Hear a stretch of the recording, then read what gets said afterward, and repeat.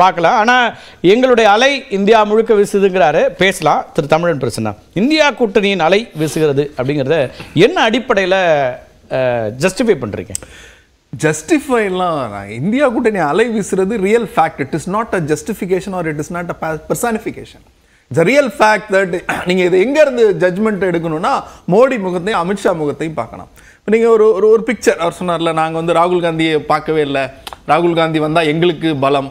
ராகுல் காந்தி வந்து ஒரு பப்புன்னு ஆரம்பிச்சிங்க மொதல் பார்லிமெண்ட்டில் பொதுக்கூட்டத்தில் எல்லாத்துலேயும் சின்ன பிள்ளையெல்லாம் தோல் ஒதுக்கி வச்சுட்டு பப்பு யார்? சொல்லு. அப்படின்லாம் சொன்னீங்கல்ல. இன்னைக்கு தேர்தல் பிரச்சாரத்துக்கு நீங்கள் மக்களை சந்திக்க போயிருக்கீங்க. நேத்திக்கு மோடி கேட்குறாரு யாரு? வேற யாரும் இல்லை. மோடி கேட்குறாரு உங்கள் ஓட்டு யாருக்கு? கூட்டத்திலேருந்து ராகுல் காந்திக்கு அப்படின்னு சவுண்ட் வருது. அந்த வீடியோ எல்லாரும் பார்த்தோம். இன்னைக்கு அந்த வீடியோ வைரலாக போய்கிட்டு இருக்கு. இந்தியாவினுடைய மனநிலை இந்தியா தான் இந்தியாவிற்கான கட்சி இந்தியா கூட்டணி தான் அப்படிங்கிற ஒரு மனநிலை இருக்குல்ல. ரெண்டாவது இவருடைய அச்சம் சர்வாதிகாரத்தனம் தாந்தோன்றித்தனமான அச்சம்னு எங்க இருந்து நீங்க வரீங்க ஃபைண்டிங் அதைத்தான் சொல்றேன். அசாருதீன் மாதிரி இந்திய கிரிக்கெட் டீம்ல முஸ்லிமா வந்துருவாங்க. இந்தியாவுல இருக்கிற இந்துக்களின் சொத்தை பிடிங்கி முஸ்லிம்களுக்கு கொடுத்துருவாங்க. இது எந்த வெளிப்பாடு? பத்து இது பரப்புரை இல்ல சார் கேவலமான உரை. இது எப்படி நீங்க பரப்புரைன்னு சொல்லுவீங்க? இந்திய தேர்தல் ஆணையம் தூங்கிக்கிட்டு இருக்கு. இந்திய தேர்தல் ஆணையம் வந்து மோடிக்கு நேரம் நீங்க எப்படி வந்து ஆந்திராவுல வந்து 48 மணி நேரம் பிரச்சாரத்துக்கு தடை விதித்தீங்களோ அது மாதிரி மோடிக்கு தடை விதித்திருக்கணும். a clear case of violation of election code. கார்கேயோட ஸ்டேட்மெண்ட்டை கண்டிக்குது இந்த தேர்தல் ஆணையம். சார் நான் என்ன- என்னங்க இப்படி ஒரு லாஜிக்கே இல்லாம சொல்றீங்க? அதான் அது அவங்க பாஜகவினுடைய இன்னொரு ஏஜென்ட் தானே தேர்தல் ஆணையம். அதைத்தானே நாங்க ரொம்ப தெளிவா சொல்லிக்கிட்டு இருக்கோம். நீங்க இன்னைக்கு இருக்கிற தலைமை தேர்தல் ஆணையர்ல இருந்து நான் இங்கேயே கதை சொல்லியிருக்கேன். அவங்க யாரு? இப்ப நியமிக்கப்பட்டிருக்கிற ரெண்டு பேர் யாரு? அவங்க என்ன மாதிரியான நடவடிக்கைகளில் ஈடுபட்டுக்கிட்டு இருக்காங்கங்கிற அவலச்சூழல்ல நாங்க இந்தியாவுக்காக போராடிக்கிட்டு இருக்கோம். See, இங்க மோடியினுடைய அந்த பிரச்சார பேச்சை பாருங்க. தொடர்ச்சியா நான் பத்து வருஷம் இருந்திருக்கேன். இத்தனை கோடி பேருக்கு வேலை கொடுத்துருங்க அப்படின்னா பக்கோடா போய் வீங்கன்னு போன எலெக்ஷன்ல சொன்னதுதான் திரும்பவும் சொல்றாங்க. சரியா? பெட்ரோல் டீசல் விலையை பாதியா குறைப்பையே எங்கப்பா குறைச்சா அப்படின்னா அது வெளிநாட்டு சதி. அவர் எங்க வீழ்ந்தாரு அப்படிங்கறதுல ஒரே வரிதாங்க. வெளிநாட்டு சதிகள் வந்து என்னை வந்து ஆட்சியில் வரவிடாமல் செய்வதற்கு துடிக்கார்கள்னு ஒரு காமெடி பேசினார் பாருங்க. அதை விட உச்சபட்ச அச்சம் வந்து முடிச்சிடறேன். உச்சபட்ச அச்சம் வந்து அது ஒரு சீரியஸான ஒரு குற்றச்சாட்டு இல்லையா? ஏங்க இந்தியாவுல ஜனநாயக நாடு இந்தியாவுல தேர்தல் நடக்குது. நீங்க உங்களுக்கு வாக்களிக்க போறது இந்திய மக்கள்.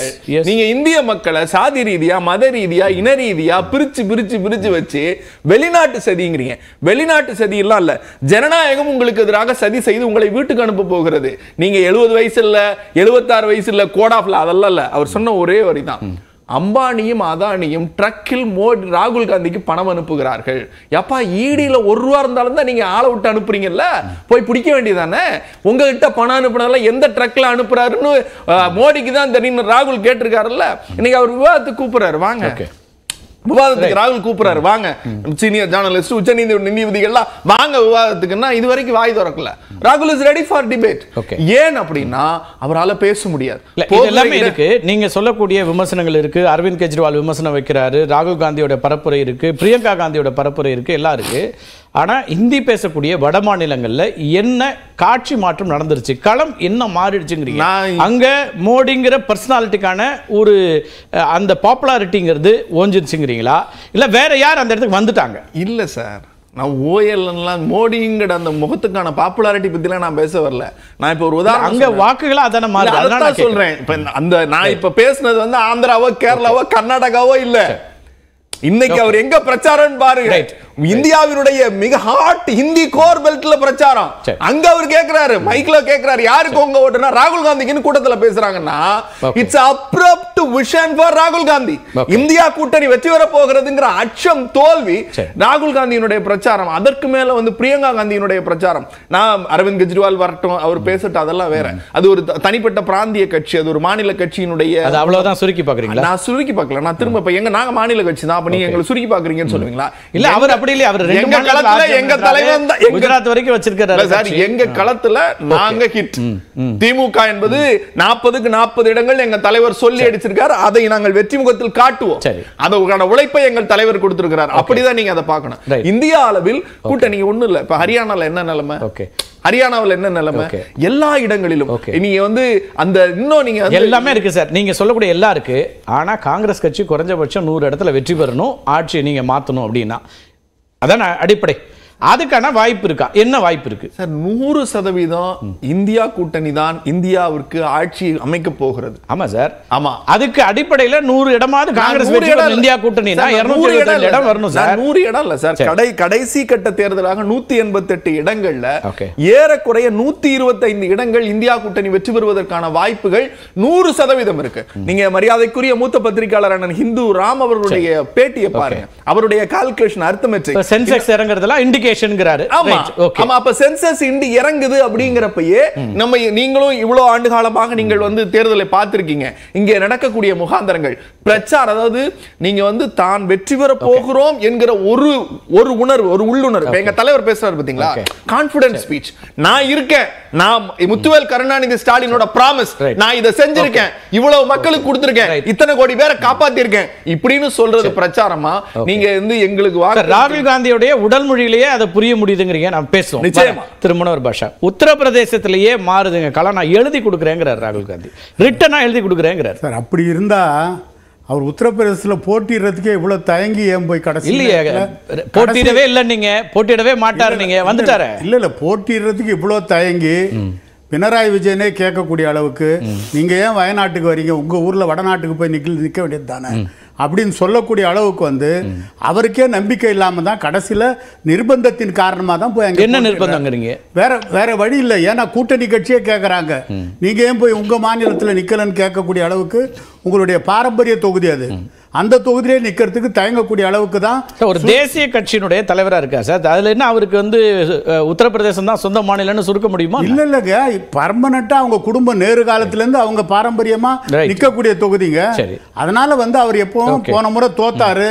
அதனால அந்த அச்சத்தின் காரணமா இந்த முறை நிக்கலாமா வேணாமான்னு தயங்கக்கூடிய சூழ்நிலையில நிர்பந்தத்தின் காரணமா போய் நின்னு இருக்காரு ஆமா. மூன்று முறை முதலமைச்சரா குஜராத்ல இருந்தாரு. ஆனா வாரணாசியில வந்து போட்டியிடுறாருல. அவருக்கு எங்க விருப்பம் இருக்கோ எங்க தேவை இல்ல, அவர் அங்க போட்டியிடுறாரு. அவர் எங்க நின்னாலும் வெற்றி பெற முடியும்ன்ற நம்பிக்கை இருக்கிறதுனால தான் அவர் போய் வாரணாசில நிக்கிறார். அதே ராகுலுக்கு பொருந்தும் அதான் ரேபர் அலி நான் என்ன நிக்கிறாரு. ராகுல் வந்து அவருடைய சொ- வயநாட்டுல நிக்கிறதுல தப்புன்னு நான் சொல்லல சார். போன முறை ரெண்டு தொகுதியிலே நின்னீங்க. ஆமா. இந்த முறை ஏன் யோசிச்சீங்க? இந்த முறை வாய்ப்பு சார் இந்த முறை என்னன்னா போன முறை தேர்தல் ஆணையம் உங்களுக்கு ஒரே நேரத்துல ரெண்டு இடத்துக்கு சொன்னாங்க சார் தேதி.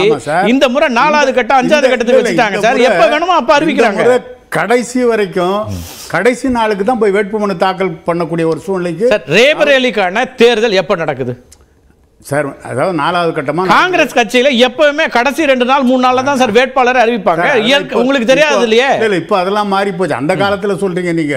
இப்போ அப்படி ஏன் தமிழ்நாட்டுல இங்க திருநெல்வேலியில பரப்புரைக்கு முதலமைச்சர் போறாரு அன்னைக்கு தான் அன்னைக்கு முதல் நாள் தான் அறிவிப்பே சொன்னாங்க வேட்பாளர் யாருன்னு. வேட்பாளர் பிரச்சனை இருந்தது அதனால அது. தொகுதியில. அதனால நீங்க இன்னைக்கு பொறுத்த வரைக்கும் ராகுல் காந்தியே அங்க வந்து போட்டியிட தயங்குறாரு. எப்படி வெற்றி பெற முடியுங்கிறீங்க? இல்ல கள. நிலவரம் வந்து கண்டிப்பாக மீண்டும் மூன்றாவது முறையாக மோடி தான் பிரதமராக வருவார் என்பதில் எந்த விதமான சந்தேகமும் எங்களுக்கு கிடையாது. ஏனென்று சொன்னால் இன்றைக்கு இந்தியா முழுவதும் மோடிக்கு ஆதரவான அலைதான் இல்ல வீசிக்கொண்டு எங்க இருக்கு? அப்படி ஒரு அலை இருக்காங்கிறதா இப்ப வைக்கக்கூடிய கேள்வி. பத்திரிகையாளர்கள் என்ன ராகுல் நீங்க சொல்லக்கூடியது சரி. கடந்த ஆண்டுகள்ல ரெண்டாயிரத்தி பத்தொன்பதுல ஒரு அலையை நாங்க ஃபீல் பண்ண முடிஞ்சுச்சு. விசிபிளா இருந்துச்சு. இன்றைக்கு அந்த அப்படி ஒரு அலை இருக்கு. அலை எதுவும் இல்லாத ஒரு தேர்தலாக இருக்கிறதுன்றாங்க. நிச்சயமாக மீண்டும் மூன்றாவது முறை பிரதமராக மோடி வர வேண்டும் என்ற எண்ணம் தான் நாட்டு மக்கள் மத்தியிலே இருக்கிறது. அந்த அடிப்படையில் தான் இன்றைக்கு ஒரு கம்ஃபர்டபுளா ஒரு கேம்பெயின் எடுத்துட்டு போக முடியுமா சார்? அப்படி இல்லைங்கிறாங்க. இன்னைக்கு வந்து நரேட்டிவ் மாறிடுச்சு சார். முதல்ல வளர்ச்சின்னு முதல் கட்டத்துல தொடங்கினவங்க ரெண்டு கடந்த பத்து நாளா காங்கிரஸுடைய தேர்தல் அறிக்கையை பேசுறாங்க ராகுல் காந்தியை பேசுறாங்க கேஜ்ரிவாலுக்கு ரியாக்ட் பண்றாங்க. அப்போ ஒரு கான்பிடண்டான ஒரு இடத்துல இல்லைங்கிறாங்க. அரசியல்ல ஒரு ஒரு மாநிலத்துக்கு ஏற்ப தான் பேசி ஆகணும் சூழ்நிலைகளுக்கு ஏற்ப இப்போ கெஜ்ரிவால் சொல்றேன்னா அது ரியாக்ட் பண்ணி ஆகணும். இப்போ தமிழ்நாட்டில் தளபதி ஸ்டாலின் சொன்னதுக்கு ரியாக்ட் பண்ண வேண்டிய.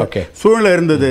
அது மாதிரி ராகுல் காந்தி பேசுறாருன்னா அதுக்கு ரியாக்ட் பண்ண வேண்டியது ரியாக்ட் பண்றது வேற சார் ஆனா நேற்று வரைக்கும் யாருமே இல்ல பிரதமர் மோடிக்கு எதிராக அப்படின்னு சொல்லிட்டு அமித்ஷா தான் சொல்றாரு இன்னைக்கு மோடி வெர்சஸ் ராகுல்ங்கிற இடத்த கொண்டு. இன்னைக்கு வந்து இந்த இந்தியா கூட்டணியில இந்தியா முழுவதும் பிரச்சாரம் பண்ற ஒரே தலைவர் ராகுல் காந்தி தான்.